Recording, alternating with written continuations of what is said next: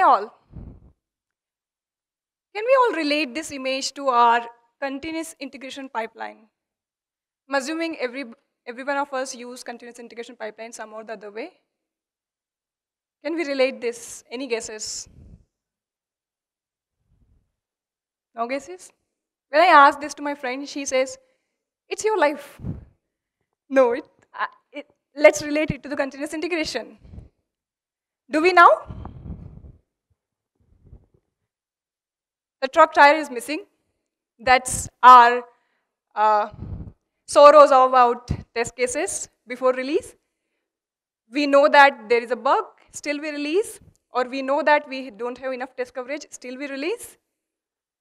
It's one less tire, but truck still runs, and it's fun now. But what happens when you remove one more tire? Is it going to be fun? More? No? 3, 3 a.m. calls? Right? So that's what this talk is about to be today. We are going to understand how at, uh, at my workplace, MoEngage, we try to work on bringing the continuous integration and adding the test coverage as the minimum criteria to actually have the uh, code base pushed to the next pipeline. Uh, before we move on, a brief about me, which is not brief. So I'll just sum up it. Uh, I'm, I find myself an explorer. I have, I have explored a, a multiple uh, range of things in professional personal life. I've been a developer, a tester, an automation engineer, and I tried trying to learn DevOps things also so that I can uh, fill the gaps between all of these teams basically, and help, which helps us build and ship the healthy product. Personally, um, I, I, I, like to share what I know and learn in return. So I blog about them and record videos on that. And uh, I'm an automation uh, nerd as well as the open source enthusiast. So whichever project I work for my, uh, I use for my work, I make sure to contribute back to it in some or the other way. My uh, latest contributions can be found in Jenkins and automation related plugins. I'm a big time foodie and sleep lover, but I use yoga so that my the Hulk inside me doesn't come out. The same, uh, the same secret I told Dr. Banner, that's why you could not see the Hulk in latest Avenger coming out. All right, so this is about me. And uh, so today's talk, we are going to start with why I am talking about this topic. What are the pain points we faced and I see the similarity like you also faced and what are the things we did to solve it. So that comes in the what section, how, what, it, what and how it works. And then how is about you, how can you also integrate in your systems and Q&A at the end. Sounds fair? Yes? Oh, it's after lunch talk. Yes? All right, so we go with. So this is, uh, this is the simple data, another pie chart, bar graph, but I'm not going to bore you. I'm going to talk about a very interesting thing here. This chart represents uh, the, uh, the code commits in our system. This I just pulled uh, from our code base. So back then, initial of, initially starting of MoEngage, we had a monolithic repository where we were adding everything in one. Sounds familiar? Everybody starts with that because that gives us speed and pace to actually add uh, code faster and serve our customer needs faster startup story. So that's what we had. But do you see any, any pattern in this, this graph? Year on year. So green bar shows the lines added, red, red shows the lines deleted, orange shows the team size at that time, and then you have year on year. Do we see any correlation or any pattern here? So we, we grown up exponentially. So we were size 15 and we are 50 contributors uh, code contributors. So any pattern you see, code is growing fast, features are going fast, a lot of features are going fast, but there is a pattern reverse. The additions are lesser. What can be the reason? So this is what is interesting uh, about. So one reason is here, so since we understood, okay, monolithic is not going to help us serve better to the customers faster, so we started uh, segregating our services into different pieces. That's one reason you see the less number of lines added in the monolithic code base. But at the same time, you see the deletions are also reaching towards the number of lines added.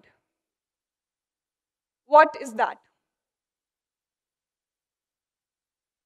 we are adding a lots of features. We are serving customer needs very, very fast, any custom needs. But still the deletions are growing up. The reason is because we are re-architecturing as well. We are bringing better uh, coding practices, we are bringing better services architecture so that we can serve the same uh, piece faster. So that's, that's, uh, that's something. But there is one more point here. The point is, we already have the code there, which you call legacy code. We already have the code there. Now, you add a small feature, the addition will be less because code is already there. So now, uh, the problem started occurring. The code was transforming addition, deletion, deletion more, addition more, things like that. Everybody uh, relate to it. That's where a point came when a single line a developer has to add. There will be a big pain point because a single line can break service at any point of at any any point, and it has to be tested a lot. So I'll give you a summary like how it goes. So uh, uh, my tech lead comes to me, let's say, for example, I'm a, I'm a core developer. He comes and says that, okay, what is the timeline to add this feature? Which practically, if I think, takes only one, uh, one line to change. But in reality, I see if I change this one line, I have to test in several 10 more features. It means all 10 more features has to be tested. I am afraid to give timeline. And my tech lead is like, why? Why? Does the code frighten you so much? And I'm like, I'd be a fool if this big giant code has not frightened me up. One mistake, I'm dead. Why risk it? So this is one common point when you have uh, the code base, which is not test covered, like we had monolithic code, and we did not have enough test coverage, you can say zero coverage, let's say, and we actually wanted to add one line, we have to test a lot of places, one thing, and second thing is, even to write test cases for them is a difficult choice. So I'll come to that point again in the next slides. So we wanted to solve this problem and we, we thought we were brainstorming what should we do. One ideal approach is okay, you go and write end-to-end -end test cases for everything. But are they, are they sufficient or are they good enough or can, they, can that approach scale? And that's where we went to uh, understand what are the best practices. So we have seen this slide a lot of times, a lot of conferences, people talk about it, everybody sees it, everybody go and pitch in company, and what happens? It, does it work? Does it work easily? Any, any successful example? You just went and said we should do it. No, the US smiling faces chose that. Yes, so that's what happened. So we, we wanted to actually achieve unit test uh, coverage more than others because they are less expensive, more uh, faster, and uh, the developer, developer gets feedback faster, and, and so the, the, the entire QA, uh, the quality automation uh, works sm more smoother than having only end-to-end -end test cases. So we wanted to do this. We, we decided we do this. So what we did was like every like, like instinct, we, we just said everybody that, okay, we want to do this. From now on, whatever we code we add, we have the test coverage, we have the test cases for them, unit test cases, and have coverage for them. That's the approach we took. And then the real life happens. The good intentions works only when you make mechanism to happen. After some time, we realize saying doesn't work we did not have enough test coverage still.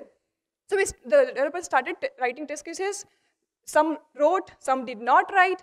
And then the people who wrote, also, they were not enough coverage. So now, why? So we, we have to dig down why there is no enough coverage. There can be multiple reasons. Even the person do not know. He's into development, she's into development. She's not thinking about the test cases now. So that's, that, that, that, that's kind of challenges were there. So we wanted to mitigate this problem. So like continuous integration pipeline creation, we also thought, okay, let's go ahead and we also do it. So give a context, I'll just give you a brief. Uh, we use GitHub for our version control and uh, uh, we create pull requests and we have a pipeline structure where each stage something passed, then only it goes ahead. So it, it looks like this. So we call this uh, a shield, we named it shield. Shield, uh, it's shield task to understand everything and then move ahead. So it goes like this. So developer creates a pull request, the first column.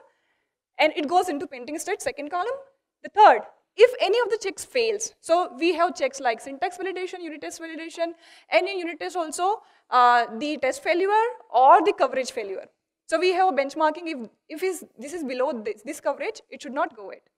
So uh, any of this fails, the pull request is marked, uh, marked to be blocked. So it looks like this in real. So you have the create pull request, it goes into waiting, and the pull request is, if you see here the, the coverage is missing, that is why the pull request gets blocked, you see. So this is how we, we thought, yes, now we can have test coverages, coverage.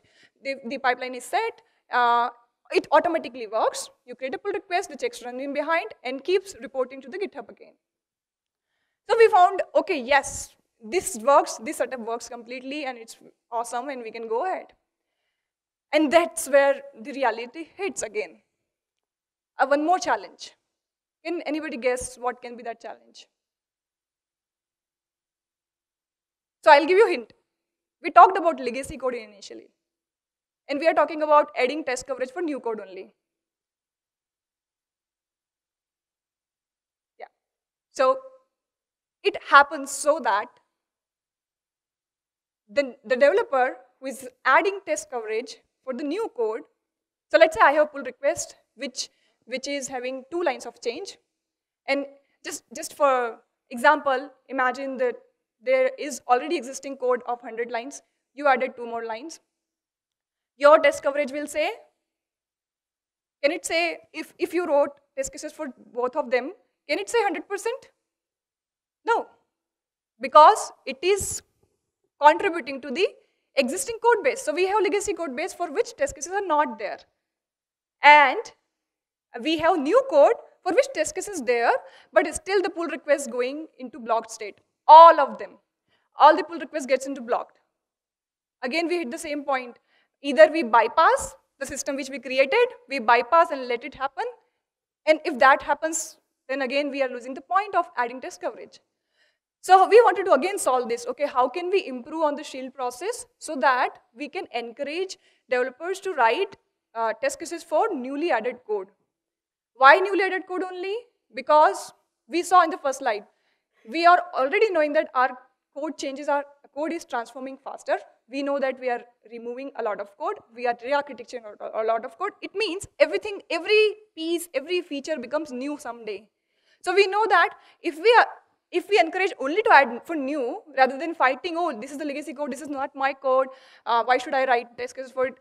Without thinking about all these things, we can just concentrate on one thing. Add for what you return. So exactly, so we did. So we saw that we have uh, run checks and we have a test coverage report. So we added one simple tweak. The question itself is answered. The question is, I want to write test cases only for what I added into the system. And your system should detect that and tell me oh, if I missed only in that portion. So that's what we do.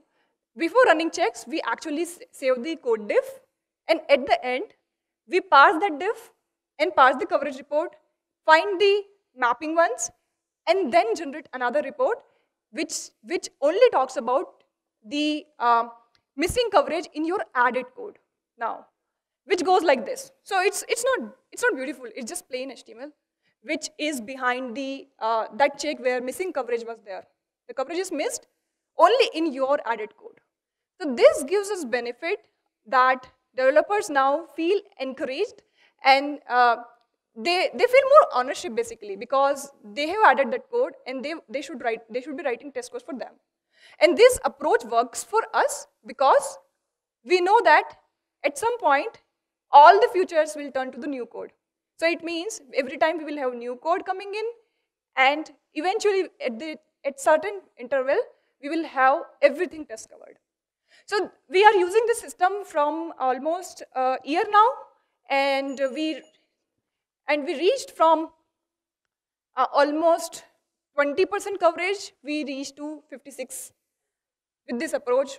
And eventually, when all services segregates or code gets re-architectured, we'll have the uh, its coverage complete, complete for the complete code base. That is all I have. Uh, so, so this is the how part. How can you build if you want to build? So we have the open source APIs for everything. We just need to connect the dots. GitHub APIs, Jenkins APIs, uh, for uh, running the checks in behind basically. And then we have one more system called Alice, which we created last, last year and open sourced as well, which helps us automatically to talk between these APIs and do let Shield do only the parsing task. So we do not need to build everything together. So the continuous integration system could be built on that tool, which we already had written last year. And there are some things. We have credits for the problems. I always give credits to problems first because that's I, we solve if problem comes. And people, uh, so this idea is originated from uh, multiple people in my company uh, that we should be focusing on only the diff coverage. So I give credit to uh, them. Then GitHub APIs, Jenkins APIs, and photo credits, that's all. So this is what I want to end with. 100% coverage is a myth, at least 60% is better than nothing. That's all. Thank you. So I'm open for the question and answers.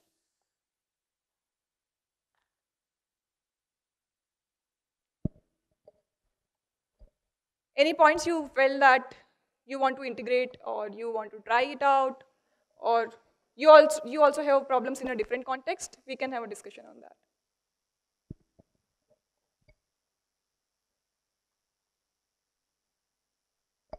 Hey Pooja, uh, I can pretty much relate to what you are saying.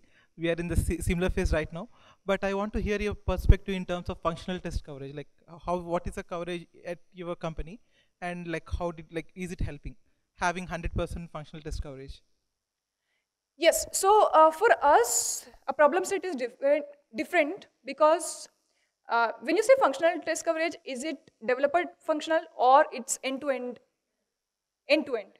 Yes. So so we are a SaaS company which, uh, which actually the endpoints are uh, not in our context. So it's customers, customers, basically. So we cannot hit the complete endpoint.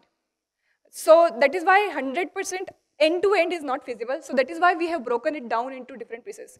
So this is a big problem, but since this problem exists, we are able to follow the good practices. Otherwise, we would have again written up, ended up writing end-to-end -end and then struggling to maintain them. So we are focusing on uh, piece by piece individual services. So unit tests should go broader, and then we are segregating them into uh, different chunks. Like this should go in the API test context, and then this should go in the uh, end-to-end -end automation. So end-to-end -end automation we started and we stopped. So uh, we are again going to start that. Uh, but then again, the complete end we will not touch because that's not something out in our context. Am I able to? Yeah, we can have a further discussion on this. Any more questions? Okay, I can't see anybody. Okay, if you don't have, I have a question. How many of have more than 80% coverage? Wow, I should meet you. What's your name? Hawal. Okay. Yeah. Unit test coverage end to end or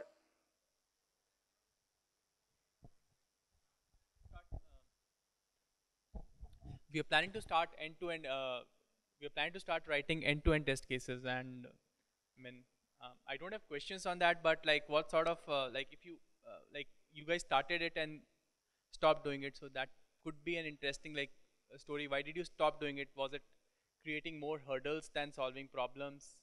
Um, yes, yes. So that's what. Um, so for that, I need to give a brief about what we do. so probably this is an offline uh, thing. We, we should again get in touch. That is all.